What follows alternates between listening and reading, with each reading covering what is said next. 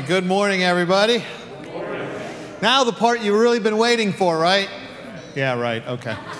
Uh, I, I do want to say just a word about VBS, uh, and this is, uh, I, I, do find it fascinating, by the way, uh, being here uh, most of the week and then seeing today that during the week, you know, there's jumping up and down and yelling and running up and down the aisles and screaming, and that's just the adults. Then the kids.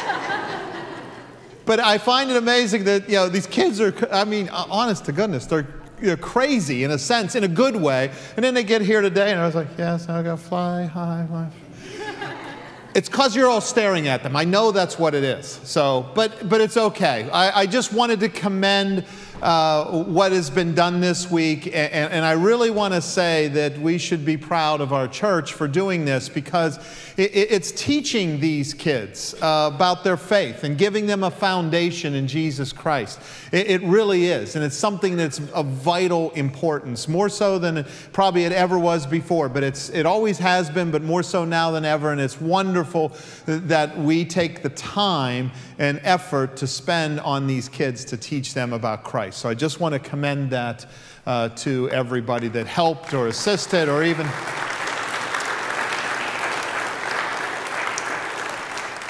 So let me tell you this week, uh, you know, Joyce, she doesn't just do the Bible school stuff. She uh, helps with our, uh, she does the slides and everything. And I gave her my slides for this week for the, for the sermon. And uh, she wrote back on it. She never really responds this way, but it was weird. She wrote back and, and it had big words on it, said Acts 29.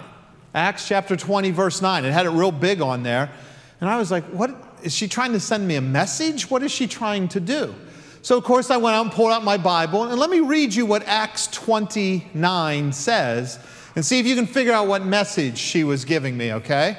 It says this it says, As Paul spoke on and on, a young man named Eutychus, sitting on the windowsill, became very drowsy. Finally, he fell sound asleep and dropped three stories to his death. It's scripture. I don't know what to tell you. That's what scripture says. So I took it to mean Joyce is telling me you need to shorten this up a little bit. Now, no, that wasn't something to clap about. Now, my message back to all of you is just this. If you're sitting in the first row of the balcony, be careful, okay? Because I'm looking at the clock and I got all kinds of time. So if you have seat belts, any rope to hold you in, it's going to be a while. No, I'm kidding. I'll try to, I'll try to make sure you don't fall asleep. I'll do my best. I, I wanted to talk about today. I, this is what my thought was originally. I want to talk about being a follower of Jesus. And my thought was, let's talk about being a follower of Jesus, all the wonderful things that go with that. All the, you know, you, you are, uh, you give an eternal life. You are adopted into the family of God. You become a son, a daughter of Christ, a brother or sister of Christ, a son or daughter of God. And, and, and you get love and grace and mercy and forgiveness. And I wanted to talk about that. And I realized we've kind of been talking about that for the last two months, haven't we? About being a follower of Christ and about taking that into the world. And then I so I stopped myself and I said, I, I don't think I'm going to go that way today because I'm like other people. I mean, we're you know we're human beings, and when we hear it again and again, even though it's a good thing, even though we need to hear the benefits of being a follower of Christ, and you're going to hear it again today, we need to hear that on a regular basis. But if we're not careful, we start going, ah, been there, done that. Already heard that. I know where you're going with all this. Do we really need to go over it again? And, and most people, I know that a lot, I, I, believe me, I know what you're already thinking. You're saying, ah, oh, been there, done that, heard that. Uh, let's see, when was, what am I having for lunch today? Where are we going? Uh, what's the plan? That's what we start doing as human beings. It's, we can't help it, it just happens sometimes. And so I realized I don't really want to go down that same route, at least exactly that same route. So I want to do something a little bit different because what I'm concerned about more than anything is when I think of that reaction that I've been there, done that, that means we're getting comfortable in our faith which, when you first hear it, it is a good thing. And it is a good thing to be comfortable in our faith. It's something is comfort that we as human beings seek all the time in our homes, in our places of rest. That's why we go on vacation. We're always looking for comfort in our lives. And so it's natural to look for comfort in our spiritual life as well. And it's a good thing that we're comfortable enough in our spiritual life to go into the world and, and to admit I'm a follower of Jesus Christ and to be comfortable enough to talk to people about our faith and about our church. That's a good thing. But here's my concern what happens when comfort turns into complacency? That we become so comfortable that it's almost like, yeah, I just don't. What do I have to do anymore? I've done what I'm supposed to. I've given myself over to Christ. Oh, fantastic. I'd maybe do something once in a while, but it's just not, I mean, it's a lot of work. And I've got a lot of other things in my life going on. And our faith life becomes complacent. And so I was thinking about that, and what came across to me to, is a scripture from 2 Peter. And 2 Peter really gives us what I'd like to call more than anything today a wake up call. All right? This is not a condemnation. Peter is not condemning us. He's really not. It's a warning to us. It's a wake up call. It's a wake up to not allow our faith to become complacent, to continue to work at our faith, to continue to grow in our faith.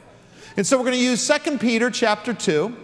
And I'm going to use a little bit of different scripture. I usually don't use NLT, the New Living Translation, but I, but I wanted to point that out to you. It's not the, the scripture that is in your Pew Bibles today. This is a little bit different than what we normally use, but I think it really speaks to this idea of it being a wake up call to us.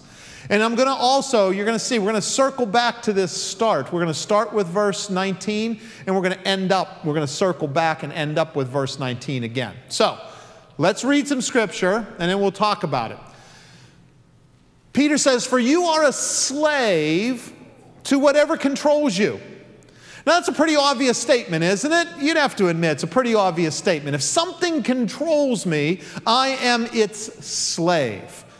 That's obvious, but and we think about it in this society, in this day and age, it's probably a negative connotation, isn't it? Like, I'm a slave to something is not something we want to say all the time. It's not something we want to admit about ourselves, that we're a slave to anything. But I think Peter means this, yes, in a bad way, as we'll get to in a moment, but I think Peter means it in a good way as well. Because, for example, if we are controlled by the Holy Spirit, then it's a good thing to be a slave, isn't it? It's a good thing to be the slave to the Holy Spirit in our lives. And we know, don't we? We know this that if we give ourselves to Christ, the Holy Spirit literally comes and dwells within us. God, in the form of the Holy Spirit, dwells within us and is there to guide us. And if we give ourselves over to that and actually follow the dictates, that follow the, uh, what the Holy Spirit is telling us to do, we become controlled by the Holy Spirit, but and we become a slave to God. It's a good thing. It's not a bad thing. It's ultimately, as Christians, what we really truly want in our lives. But it can also be a bad thing, can it, to be a slave if something controls us that's other than Christ because we are human beings. What normally controls us as human beings? What, be honest, what controls us? It's, it's ourselves, isn't it? It's our own egos, our own desires. That's what controls us most of the time. And, and that can be bad things. It can certainly be bad things, obvious things, things we become addicted to gambling, drugs, alcohol, bad things. But think of this it can also be good things that uh, the best intention in the world, but if it starts literally controlling us to the point where everything else gets pushed aside and off, of our, off the path that we're on, it can actually end up being a bad thing. Take, for example, my easiest example is physical fitness. Now, I know that by looking at me, you can tell I engage in virtually no physical fitness. I do understand that. But physical fitness, it's a good thing. It's a, we should do that. We need to take care of our bodies that God has created us for us. We need to take care of them. But when it becomes so important to us that literally everything else in our lives, including our faith, gets pushed aside, then it becomes a bad thing. And so we have to be careful. What will control us? We want Christ to control us. But so here's Peter saying, You are a slave to whatever controls you. He goes on, he says, And when people escape from the wickedness of the world by knowing our Lord and Savior Jesus Christ. He's talking about what I just said that if you give yourself to Christ, you are in essence saved from your own desires. You are pulled away from the wickedness of the world. It doesn't mean the wickedness of the world is gone, it doesn't mean it's not tempting, it doesn't mean it's not there. It just means that you have given yourself over to hopefully to Christ's control and that He helps you escape from that wickedness that you were engaged in before. But then they get tangled up and enslaved by sin again. They are worse off than before. And there's the wake up call, folks. There's the warning that if you go back to what you were doing before, you're worse off than you were before. Peter explains a little bit. He says it would be better if they had never known the way to righteousness than to know it and then reject the command they were given to live a holy life. Do you hear what he's saying here? He's saying, okay, here you are, and you've decided, you've made this life choice, you're giving yourself over to Christ. And now that you've given yourself over to Christ, before you gave yourself over, you were, let's just say for right now, it's not 100% true, but for this illustration, you were ignorant in the ways of Christ.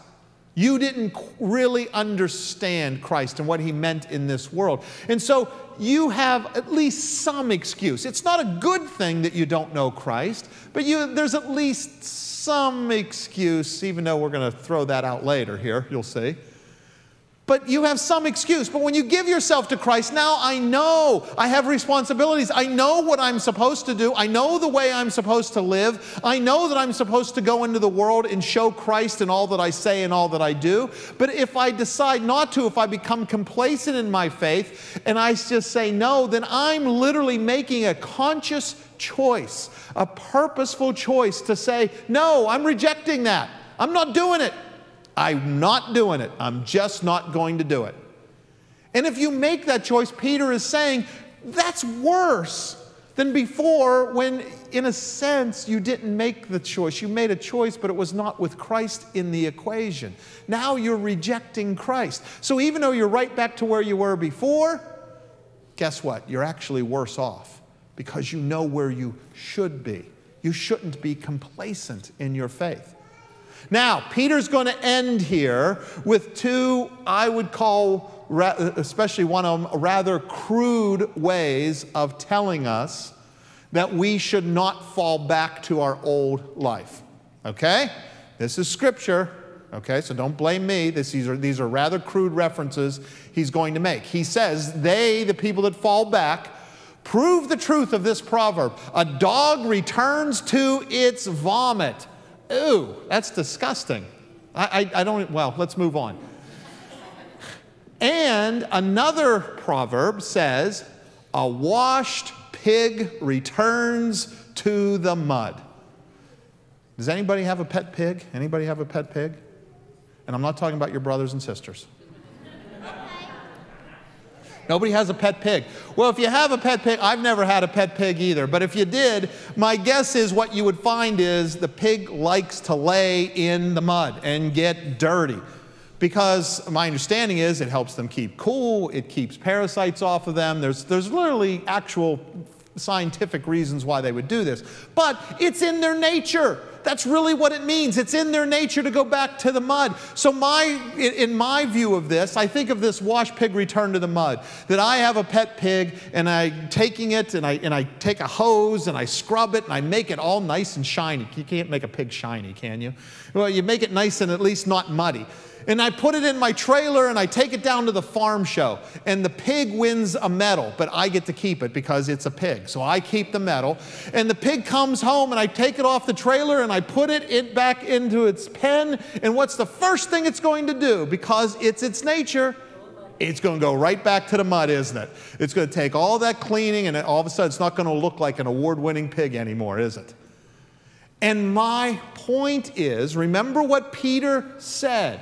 Peter said, You are a slave to whatever controls you. So, my point is this our human nature is that we want to control our own lives. We want to be in control. I want to allow my own desires to control me. And if we are left to our own devices, we are going to just be like that pig and we're going to return to the mud. We're going to return to the same place we were before, before we knew Christ. If we become complacent and don't keep Christ at the front of our lives, we're going to go right back to where we were before.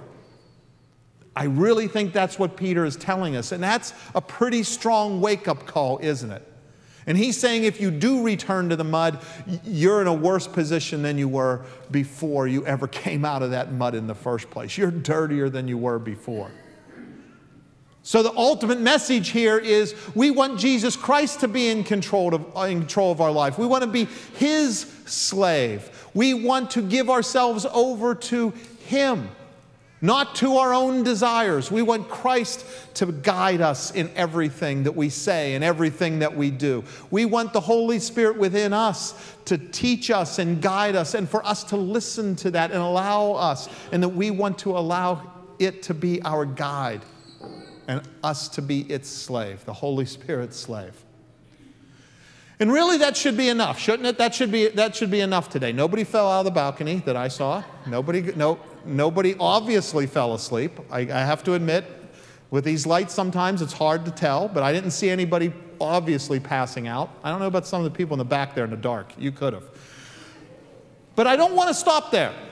I'm going to take the risk that some of you may say, that's enough, stop for today. I'm going to take the risk and I'm going to go on because at my nature, and I know none of you are like this, I have a little bit of a smart aleck streak to me. My whole family's denying this. Now, I don't know, do any of you have that little smart aleck streak running through you? And all, oh no, we have some people just admitting it, yes. All right. yeah, talk to my kids. They, they are too. They, they don't like to admit it, but they are. Anyway, and all those of you who are shaking your head, no, not me. Those, you're exactly the ones that I think are the smart Alex in the group. But anyway, let here's what me as a little bit of a smart aleck would ask somebody who just said what I said. I would say, I would ask the question, I would say, so why give myself to Christ in the first place? Tell me what the point is. Because what you're telling me is, I'm going to give myself to Christ, and then what I need to do is not become complacent and keep working at my faith, to keep going to church, to being in Bible studies, to keep praying, to keep doing all those things so that I don't become complacent in my faith and I keep growing in my faith. That's what you're going to tell me. And that's work. And I've got a lot of things going on in my life. And so at some point in time, I'm going to start to get a little complacent and say, oh, this is getting too much for me. It's too much work. And then you're telling me I'm going to slide back to where I was before, but I'm actually going to be worse off than I was. Why do it in the first place?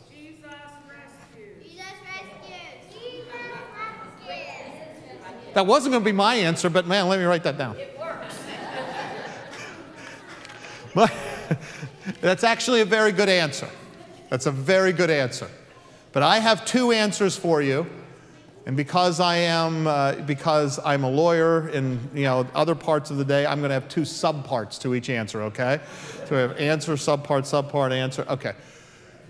So why give myself to Christ? Answer number one: too late, too late, too late. You already have. How do I know that? How do I know you have? There's, there's people sitting here probably going, uh uh, not me. And I'm telling you, you already have. You know why? You know how I know that? Because you're here right now. You're here today. And I know that sounds ridiculous, but I'm telling you right now, you have given yourself, at least taken that first step to giving yourself to Christ if you are here today. Because if the Holy Spirit is telling you, you need to go worship Christ, you need to hear His word, you need to be in that environment. You have already listened to the point where you have at least stepped here today. And I know what you're saying. Yeah, but my kids, it's my kids. I just came because the kids are here. And I'm telling you, no, you listen. There's something else going on there. It's too late. You've already listened. But if you're going to deny that, if, you, if you're going to say, nope, nope, nope, not me, not me, then let's go and read Romans 1:20 and see if you can wiggle out of this one, okay? Because I don't think you can. Romans 1:20 says this, "For ever since the world was created, people have seen the earth and sky." Through everything God made, they can clearly see his invisible qualities, his eternal power and divine nature. So they have no excuse for not knowing God. All right?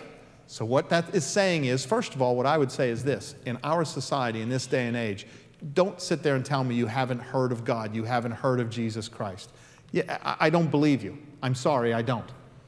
But if you want to make the argument, yes, but I live where there's no cell service, or I live where there's no satellite TV or cable, or I live in the jungles of South America or Africa or the outback of Australia or somewhere at a base on Antarctica. And so I've been completely out of touch with society and I have no clue. Nobody's ever said the word Jesus to me. This scripture says uh, you still have no excuse because you can look around around you and you can see the qualities of God. You see His eternal power, His divine nature. Just by looking around you, you have no excuse. So, why give yourself to Christ? Because why fight it? You already have, or you're already taking that step.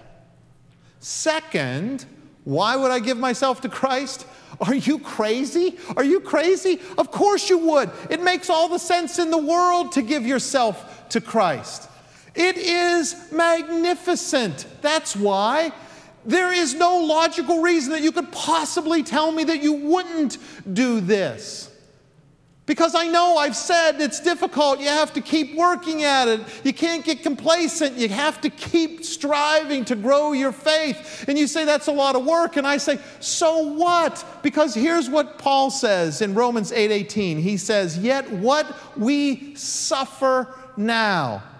What we suffer now, and that's anything, anything that you suffer, whether it be physical, mental, spiritual, whether life, how hard it is for you, how difficult it is, how much bad luck you seem to have, how dysfunctional your family may be, how little money you may have or money problems that you may have, how difficult your life is, the pain and suffering that goes along with your life, Paul says, what we suffer now is nothing. It's literally nothing compared to the glory he will reveal to us later. Do you hear what that is saying? If we give ourselves to Christ and we are given the gift of eternal life and we are with God, that that glory that's going to be revealed to us is so much greater than what we are experiencing now that this is going to be nothing to us. It's not even something that we have to kind of brush off, a speck of dust that we have to that we have to dust off ourselves. It's literally something that will be gone from our minds. It will be nothing to us. It will disappear because the glory of God, what He will reveal to us, is going to be so magnificent and so astounding that all of this is going to go away almost instantly. We're not going to even have to think about the problems that we've faced.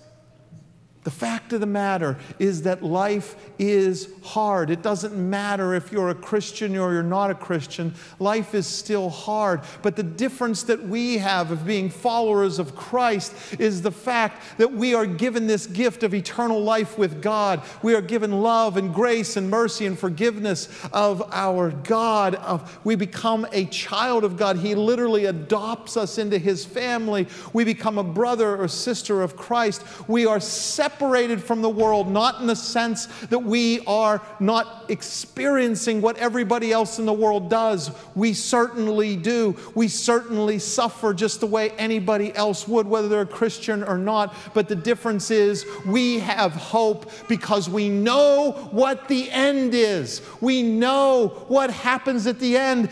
God reveals His glory to us, and it is more magnificent than what we can describe today. And so I put to you today, I challenge you to not grow complacent in your faith. Allow your faith to continue to grow. Continue worshiping Him. Continue studying about Jesus. Continue to talk to Him. Grow your relationship because then ultimately, when you go into the world, everything you say, everything you do will be a reflection of Christ. And that is where the Holy Spirit is leading each and every one of us here. Amen. wow. Go ahead, you can do that. It's okay. it is church, but God made these two hands to do something. I mean, that's okay. All right, we're going to sing our final song today. It's the theme song from Bible school. This is like, I think, everybody's most favorite song. So let's have the kids come up, stand where you were standing before, okay? so stand where you were standing before, guys. I know. You want to stand down here? You can. I'm going to invite you guys to stand up now, too, and sing along with the kids. Um, try to do the motions.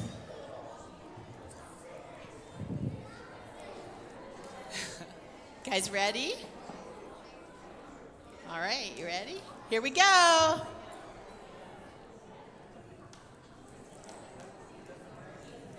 Comes our drums. All right, play your drums.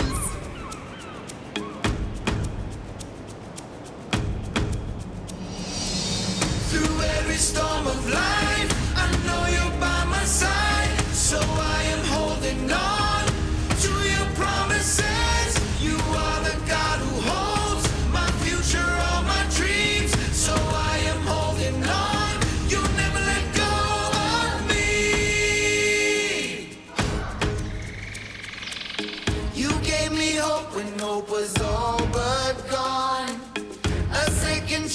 sing a brand